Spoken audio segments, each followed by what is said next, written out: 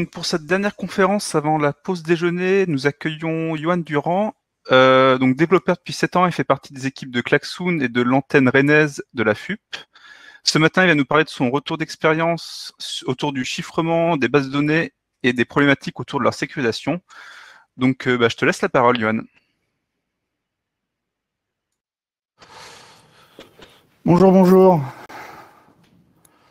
Merci. Euh, merci d'être resté et de ne pas être parti manger tout de suite.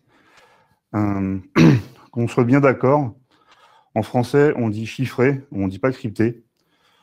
Vous pouvez dire euh, crypté pour une, en ce qui concerne les chaînes de télévision, mais pas c'est crypté EE et pas crypté ER. Donc voilà. Comme l'a rappelé Sébastien, je travaille dans les équipes Klaxoon et j'aime aussi beaucoup la bière, le métal et le rugby. Avant de voir la vie en rose, je travaillais dans une start-up dans la santé. Du coup, le secteur de la santé, en fait, c'est un secteur qui est encadré par des lois qui sont, parce qu'effectivement, vu qu'on manipule des données sensibles, les données de santé, et que c'est pas des patates et des carottes, euh, il, faut, il faut encadrer tout ça. Et c'est là qu'intervient en général euh, l'hébergement de données de santé. Donc, c'est une certification mise, euh, une certification euh, sur les, qui va concerner les hébergements et les infogéreurs pour que eux, en fait, puissent donner, puissent mettre euh, à la disposition des développeurs et des, sociétés des plateformes pour le stockage et la manipulation de ces données. Voilà. Si le HDS vous intéresse plus, euh, j'ai mis à la fin de mes slides un lien vers un meetup euh, qu'a donné mon ancien CTO sur le sujet. C'est beaucoup, beaucoup plus complet. Donc pourquoi je parle de HDS Parce qu'au final, c'est juste euh, la partie visible en fait de l'iceberg quand on, quand on parle d'application médicale. Quand on fait de l'application médicale, on, on sait qu'on doit, qu'on doit avoir euh, de la sécurité, du chiffrement, tout ça, mais on pense que c'est pas juste le, le fait d'être HDS et d'utiliser ces plateformes-là qui vont, qui vont assurer tout ça. La partie immergée, ça va être le rôle des développeurs, le rôle de, des fonctions, enfin des fonctionnels aussi, de s'assurer que tout marche bien, qu'il n'y ait pas de fuite possible. Donc moi, quand je suis arrivé dans, dans la société, on m'avait dit, euh, il y a une V1 en prod, elle fonctionne, il n'y a pas de souci. On est en train de travailler la V2, elle est presque finie, mais on a un souci avec le, on a un souci avec le chiffrement de patients. Il y a, a peut-être, il faudrait que tu regardes. Donc du coup, j'ai commencé par regarder. La première chose sur laquelle je suis tombé, c'est qu'on utilisait Mcrypt.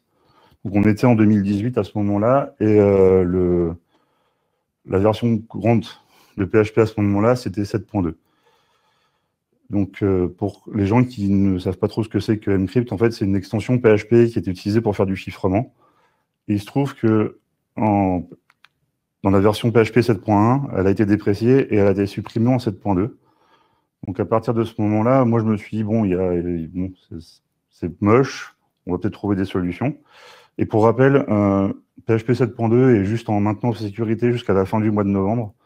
Donc si vous avez encore des versions de, PHP qui sont en 7.1 ou en 7.2, ben, essayez de les mettre à jour, même d'avant, ça fait pas de mal. Euh, donc, en voyant que Encrypt avait été supprimé, je me suis dit, bon, bah, qu'est-ce qu'il y a? Effectivement, 7.2 supprime l'extension Mais aussi rajoute l'extension Lipsodium. Et aussi, du coup, on disait, bah, en fait, euh, il y avait déjà OpenSSL avant, donc euh, vous pouviez utiliser OpenSSL. Donc, je dis, sur ce niveau-là, il n'y a pas de problème. On va pouvoir, on va pouvoir remplacer le chiffrement. Ce n'est pas, pas un souci. Donc, je me suis posé la question de, effectivement, comment est-ce qu'on chiffre un patient? Donc, j'ai été voir. Et euh, le chiffrement d'un patient, en fait, il était basé sur des listeners Doctrine, puisqu'on utilise Symfony et, du coup, et Doctrine ORM. Donc, ils avaient mis, les gars, un, listener en pré-persiste et en post-load, ce qui fait qu'on crée un patient, on le chiffre, on le sauvegarde, on le récupère par son ID, il est déchiffré, il est renvoyé à l'utilisateur. Donc jusqu'à là, pas de souci, pas de problème notoire, tu fais bon, bah ok, ça marche.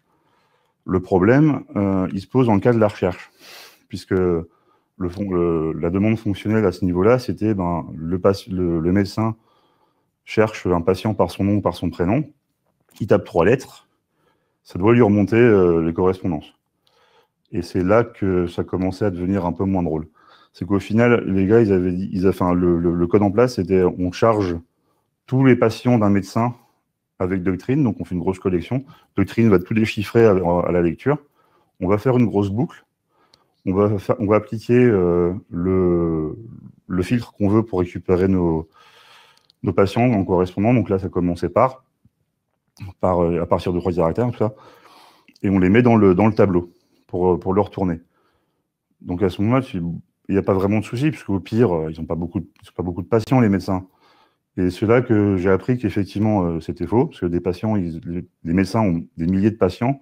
Et dans le cas qui nous concernait à ce moment-là, on travaillait beaucoup avec des orthopédistes. Et les orthopédistes sont des spécialités qui, euh, on va dire, ils suivent pas leurs médecins sur, ils suivent pas leurs patients, pardon, ils suivent pas leurs patients sur des dizaines d'années. Ils les suivent sur euh, six mois, un an, un an et demi grand max. Ce qui fait que sur une carrière de sur une carrière de chirurgien orthopédiste, des patients, ils peuvent en avoir euh, des milliers, voire des centaines de milliers. Donc au final, le le problème, il venait là, c'est qu'on avait plein de médecins. Du coup, imaginez plein de médecins qui se connectent et qui font des requêtes sur des centaines de milliers de patients qui chargent comme ça. Donc, on avait un gros problème à ce niveau-là. Je me suis dit, OK, Là, il est là le souci, il faut qu'on trouve comment faire. On ne savait pas, du coup, on a utilisé la bonne vieille technique du GDD, le Google Driven Development, pour trouver euh, les solutions. Et à ce moment-là, on est tombé sur un truc, euh, c'est que les données, en fait, elles ont, comme l'eau, trois états. Donc, euh, l'état en transit, c'est les données en mouvement dans le réseau dès, que, vous chargez, vous les envoyez, ça, traverse le réseau. Donc c'est à ce moment-là, nous on dit bon bah ça on s'en occupe pas parce que bon il y a du SSL de partout. Donc euh, ça c'est chiffré, pas de problème. Les données en cours d'utilisation, les données en cours d'utilisation, c'est les données qui sont ou dans une base en train d'être requêtées, traitées, euh, consultées, ou dans un, dans un process PHP par exemple en train d'être traité, euh, modifié, renvoyé à l'affichage ou affiché côté utilisateur. Et les données au repos. Les données au repos, ça va être euh, par exemple des backups, des bases de données éteintes, euh, des fichiers de l'œil, euh, tout ça. Tout ça, c'est considéré comme données au repos. Donc à partir de ce moment-là, on avait nous, vu le, problème. Les deux endroits où on devait se consacrer l'effort, c'est les données au repos et les données en, en cours d'utilisation. Donc la base de données qu'on utilisait, c'était MariaDB. On était sur une version assez ancienne, du coup, euh, on est en 10.1, je crois que ça correspond à peu près à un, MySQL 5.5 en gros. Mais heureusement, en 10.1, ils ont MariaDB a activé certaines fonctionnalités de chiffrement. Donc il y a une grande page de doc qui explique comment faire. Euh, le chiffrement des fichiers, enfin justement le chiffrement des données euh, au repos est géré nativement par un système de plugins. donc en fait, ils, expliquent tous les plugins qui sont disponibles. Et les choses que vous devez chiffrer, qui sont possibles de chiffrer, c'est les tables, les logs et tous les fichiers temporaires générés par, euh, par, par la base de données.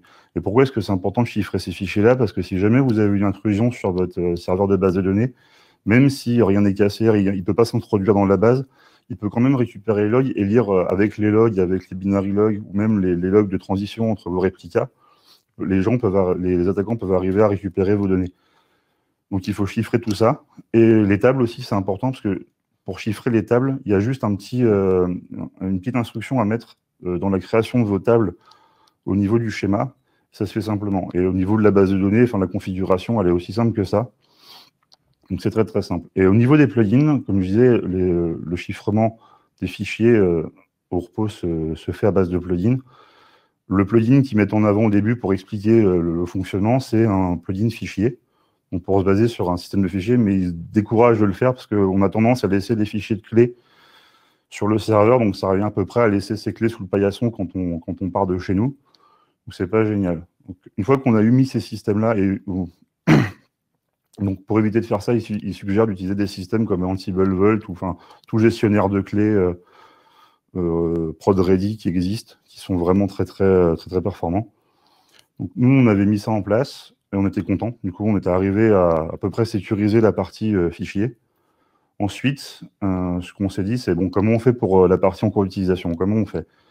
Et là, on a regardé effectivement, les bases de données en général proposent des fonctions de chiffrement nativement pour gérer l'insertion, la lecture. Donc, on a regardé, ça se passe comme ça avec, ça se passe comme ça, c'est une, une, une fonction AES encrypt qui existent. Il suffit de faire un, quand on insère, on insère AES encrypt la valeur, la clé de chiffrement qu'on veut. Et pour lire, AES decrypt le champ, la clé. Donc euh, on a testé, on a dit bon, ça marche, pas de souci. Et quand on a commencé à essayer de les mettre en place, on a, nous on utilise des doctrines, donc on a commencé à faire des doctrines types. Et j'ai commencé, plus, plus j'avançais dans, mon code, et plus je me disais, mais en fait, comment il marche euh, MySQL quand on fait la recherche? Parce que si c'est pour avoir les mêmes problèmes a eu avant, c'est pas vraiment, c'est pas vraiment intéressant. Et le problème, il était là, c'est que ben, le mécanisme interne de recherche de MySQL, à ce moment-là, sur les données, euh, les données chiffrées, fonctionnait de la même façon que ce que je vous expliquais avant, c'est-à-dire tout charger et, euh, tout, et tout, tout, et, enfin, tout charger, tout déchiffrer et tout sélectionner après. Donc, c'était pas foufou. En termes de, en termes de perf, on, s'est dit que ça va peut-être poser des problèmes. Et l'autre problème qu'on a vu après, c'est la faiblesse de l'algo AES utilisé dans cette version-là. Euh, il se trouve que si quelqu'un récupérait la base, euh, il aurait pu arriver à, casser, le, casser, le, casser le chiffrement de, ce, de, ce, de cet algo. Donc, euh, non. On s'est dit non, ça ne marchera pas, il faut quand même qu'on soit, qu'on soit sécure. Donc, cette solution-là, on l'a mis, on l'a mis, on l'a mis à la poubelle. Et après ça, du coup, on s'est dit, bon, petit Symfony, il y a forcément des bundles qui font, des trucs, il y a forcément quelque chose, il y a forcément quelque chose qui existe. Donc, des bundles, il y en a plein. Euh, et la raison principale de ça, c'est qu'il y a beaucoup de forks de ce bundle-là qui sont faits. Et qui, euh, bah en fait, lui, son principal problème, c'est qu'il était lié à Encrypt et euh, la dépendance, enfin, PHP 5.2 et Encrypt. Du coup, ça me posait un problème. Je dis, bah non, en fait, je peux pas. J'avais pas spécialement le temps non plus de le mettre à jour en utilisant autre chose que Encrypt. Et la recherche marchait pas non plus. Une autre solution, un autre fork, mieux, c'était celui-là, ce bundle-là. Mais du coup, lui, il n'utilise pas Encrypt, il utilise euh, OpenSSL, je crois, enfin, Diffuse, qui peut se baser sur OpenSSL. Mais le problème, c'est au niveau de la recherche. Euh, donc, on a abandonné aussi l'idée d'utiliser des bundles existants. Donc là, on commençait un peu tous à avoir euh, quelques petites fleurs froides, euh, dire on ne va pas trouver de solution. Et finalement, finalement, on a réussi à on a trouvé la bonne, euh, j'ai trouvé, on a trouvé un article qui expliquait qu'en fait, c'est pas une, c'est pas un c'est pas une, c'est pas simple de faire des recherches dans des données chiffrées. Il y a des recherches universitaires qui sont, faites. Alors c'est en 2017. Hein, euh, j'ai pas regardé à l'heure actuelle comment c'est parce que là, j'ai pas regardé. Mais en 2017, il y a des, il y a des solutions, mais elles sont pas, elles sont pas sécures pour les productions. C'est pas, c'est pas encore, c'est pas encore performant, c'est, c'est pas, c'est pas bien. Mais du coup, ils avaient trouvé eux une technique assez simple qu'ils expliquent dans le, qu'ils expliquent dans l'article qui s'appelle la technique du blind index. Donc au final, enfin, quand on l'explique, c'est super simple. on tombe un peu euh, à dénu en disant ah, mais en fait, j'aurais pu y penser. Donc du coup, la technique, si on a notre champ chiffré, on, on applique un algo de chiffrement et un algo de hash. L'algo de chiffrement, lui, va générer des champs chiffrés différents à chaque fois qu'on chiffre. Du coup, ce qui fait qu'on ne pourra pas aller les, rechercher dans la base, puisque la valeur la valeur du chiffrement, la valeur générée par le chiffrement aura changé. Par contre, lui, le hash sera toujours le même. Voilà, donc à partir de ce moment-là, tu vois, ok, j'ai compris, ça a marché comme ça. Comment on fait? Bon, En PHP, euh, du coup, avec l'ellipsodium, il y a cette superbe fonction qui existe, euh, et pour laquelle, en fait, euh, bon, la doc n'existe pas trop. mais heureusement, les gens de la communauté sont super sympas, et il y a quelqu'un qui a posté un commentaire en expliquant comment ça fonctionnait. Donc, il suffit de générer une clé, un nonce, qui est un nombre aléatoire utilisé une seule fois, et après de passer ce nonce et cette clé pour générer la, valeur chiffrée. Et ensuite, donc, on va générer un hash. Donc tout ça pour vous montrer, effectivement, tout ça pourquoi? Pour vous montrer que le, si on utilise deux fois, par exemple, là j'ai chiffré deux fois Georges Michel, deux fois de suite. Euh, donc on voit bien en bleu que les valeurs sont différentes et que dans le vert, les valeurs de hash sont les mêmes. Donc c'est pour ça qu'il faut qu'on stocke les hash, euh, qu'on va stocker les hash dans la base de données. Et au niveau du stockage pour le chiffrement, en fait, euh, ça va être simple, c'est que pour, la donnée chiffrée, on va stocker la donnée chiffrée et on va mettre le nonce devant ou derrière puisqu'il a une longueur fixe. À partir du moment où vous, l'avez mis, vous pouvez le récupérer. Et pour l'index, en fait, ça va être le, hash, mais réduit, pour éviter d'avoir des problèmes de, bah, de, taille dans la base.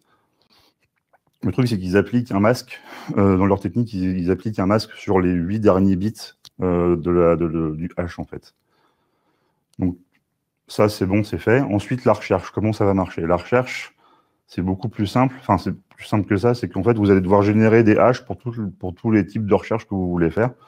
Donc là, si on veut rechercher le, patient sur le nom complet, par exemple, sur le nom, donc on hash le nom, et puis dans, une table de filtre, on va par exemple hacher la moitié du nom ou juste le nom complet. dans mon cas concret, c'était pour un patient donné. On a son nom, son prénom, et nous, on devait faire nom, prénom ou prénom, nom. Donc, euh, on assainit dans, là dans le sens euh, nom, prénom. Et du coup, euh, on, vire les, on tout ce qui est espace, accent, tout ça pour, pour pouvoir éviter les, fautes de frappe et tout ça. à partir de trois caractères, on génère un hash à chaque tour de boucle jusqu'à la fin de la, jusqu'à chaque fin de, à la fin ben, du nom prénom quoi. On recommence dans l'autre sens et du coup on a tout notre, on a notre stock de, on a notre stock de, de filtres qui prêt. Donc au niveau de stockage, ça donne ça.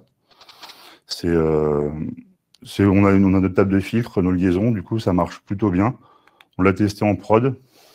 Bah, nickel, pas de souci, ça marchait bien, hmm, pas trop de problèmes. Bon, en vrai, euh, j'ai pas fait ça comme ça, parce que ça aurait été un peu compliqué. Il se trouve que les gens qui ont écrit l'article, ils ont fait une, euh, bibliothèque qui s'appelle euh, CypherSuite, qui fait toutes les techniques de tout, ce que j'expliquais avant et qui permet aussi du coup euh, d'utiliser LS-base par défaut sur la lipsodium. Mais si jamais il n'y a pas la lipsodium, vous pouvez utiliser le polyfill qu'ils ont créé dans la bibliothèque en fait, pour pouvoir euh, avoir de la compatibilité le jour où vous avez la bonne version. Euh, je ne vais pas vous montrer les exemples, puisqu'en fait la doc elle est vachement bien faite. Donc je vous encourage à aller, la lire si ça vous intéresse, à aller regarder comment ça fonctionne, et des mécanismes de renouvellement de clés. Il y a beaucoup de trucs poussés dedans qui sont, très très bien faits. Voilà. Euh, merci d'être resté jusqu'au bout. Et euh, si vous avez des questions. Euh. Voilà. Euh, oui, il y a quelques questions qui sont remontées et on a quelques minutes. Euh, du coup, euh, la première question, selon ton expérience sur des fonctionnalités de recherche comme celles que tu as décrites, est-il plus adapté de réaliser la mécanique en PHP ou bien de déporter la problématique à un index de recherche chiffré type Solar ou Elasticsearch? Est-ce que cela peut-il simplifier la problématique? Bonne question. Je c'est vrai que je me suis pas posé la question parce que à ce moment-là, en fait, j'avais pas trop, j'ai pas regardé. Je, là, je pourrais pas répondre. C'est, je sais pas. là, je sais pas. En fait, j'ai pas regardé à ce moment-là parce que était, nous, on était sur un, j'étais sur un, une période euh, de travail très très compressée et du coup, j'ai pas eu vraiment l'opportunité d'aller regarder plus sur les index de, les index Elasticsearch ou Solar pour faire ce genre de choses. Donc là, je, suis désolé, je n'ai pas la réponse. Ok, pas de souci. Euh, hop, j'enchaîne sur la suivante. De quoi cherche-t-on à se protéger en chiffrant sa base de données? Si l'attaquant a accès au serveur, il a, il a aussi accès à la clé. Bah non, justement, c'est pour ça que je dis qu'il ne faut pas mettre les clés sur le serveur.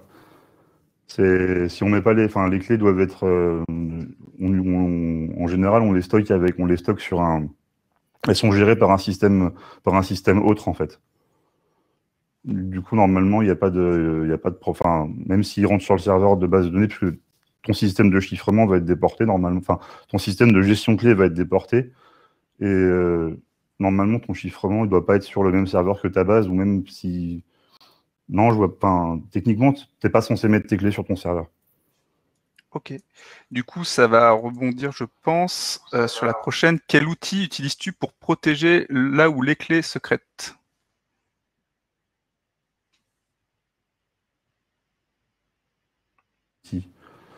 Ah, euh, en fait, il y, a plein de, y a plein de systèmes qui existent, qui sont plutôt plus ou moins complexes à mettre en place.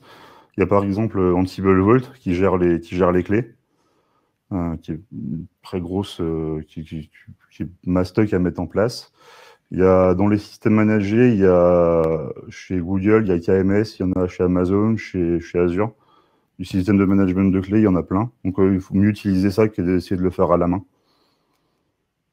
Euh, en général, si vous faites du cube ou du Docker, il y a tous les systèmes qui, sont compatibles avec. Donc normalement, il n'y a pas de souci pour utiliser ce genre de choses. Ok. Bah, merci beaucoup. Là, on a quasiment, enfin, on a passé tout le temps. Euh, merci beaucoup pour ta présentation euh, qui était très intéressante. Si jamais tu le souhaites, il y a encore deux, trois questions euh, sur lesquelles tu pourras répondre à l'écrit. Et vas-y.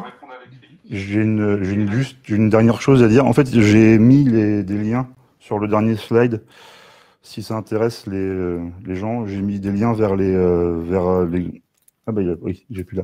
Sur le dernier slide, j'ai j'ai mis les liens vers, euh, vers le, vers le meetup de mon ancien CTO sur l'HDS, le lien vers l'article que je cite et vers la bibliothèque. Le chiffrement. Voilà,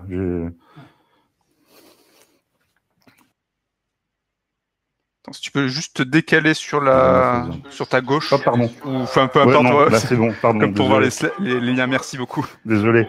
Je... Désolé. Eh bien, encore merci, Johan. Euh, bah, limite, si tu veux laisser tes slides de 30 secondes pour que tout le monde ait le temps de les noter. Et puis, oui, Et puis voilà. Pardon, je vais essayer de me virer. Pardon, désolé.